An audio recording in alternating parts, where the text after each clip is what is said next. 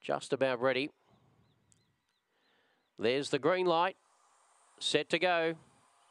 Racing, Mr. Groove got a pretty good getaway out wide. Showing really good pace was Yellow Monaro. Mr. Groove's trying to uh, follow it across. Then Braemar Sheila's right in the centre of the track with Rolling Coal. And getting a lovely run through was Cruising Amy on the inside. Cruising Amy from box number two is getting a run up on the inside. Kicking back Mr. Groove though. Mr. Groove. Mr. Groove too good from Braemar Sheila and Cruising Amy. Close up out wide was Shani's Boy. Then just in behind those was Ribbed Mikado. Uh, Wellback Rolling Coal, Yellow Monaro dropped off, and Destiny uh, Balenka back in the bunch as well, and it's 20.04 the gallop. Number eight, Mr. Groove, too good the favourite, steamed up nicely with about 50 metres to go.